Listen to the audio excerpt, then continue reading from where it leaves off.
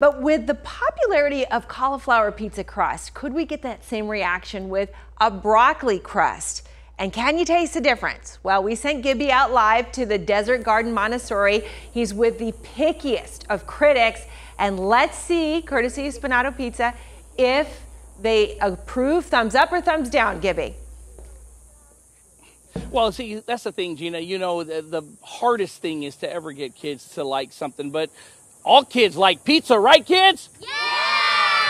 The best thing is if you want to get them to try something, you got to put it into a pizza. The hardest thing to do is have them try something new. I have Chantel with me here who started the school, and also Cassie, who's pretty much has the hardest job I think ever is finding a healthy alternative mm. so that kids can still enjoy what they need to eat and then to find it in pizza.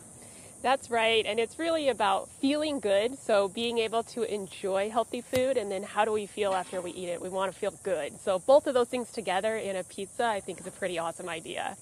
And then, you know, Chantel, for you, you have kids and parents, and they always ask these questions What are you serving? What do you have? So, when you see something like this, how excited is it for, for a school to say, Look, I have options, and not to mention, kids will love it?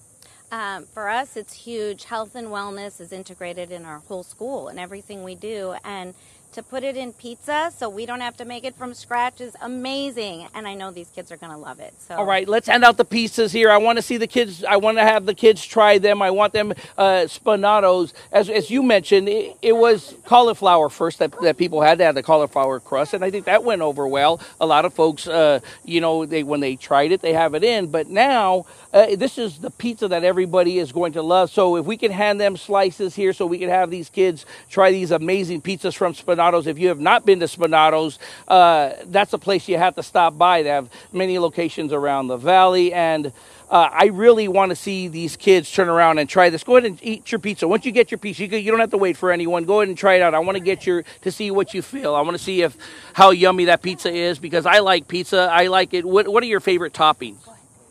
Um, cheese. Just cheese. How about you? What's your favorite topping? Pepperoni. All right, you just took a big bite. What do you think? It's good. Very good. How do you like your pizza? It's very good. Yeah, you? Yeah. Does everybody like their pizza? Try your pizza. I need you to try your pizza here. Come on, everybody. This is the first time I have to beg you guys to try pizza. Take a bite of your pizza right here, buddy. I don't have a pizza. It's right in front of you. Just take that bite right there. Grab it, put it in your mouth. That's how easy it is, just like that. What do you guys think? Spinato's do a good job out here? I can't hear you. Did they do a good job out here? Yeah. I got a surprise for you. Did you know it was broccoli? Silence. Oh. Wait a minute, wait a minute. Y'all were eating it for a while. Y'all were good with it. It's a, the crust is made out of broccoli. That's a surprise. What do you think? Gib? And that is amazing. really? Really?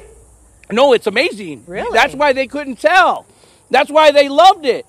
Guys, give Spinato's a round of applause because they're making pizza taste good.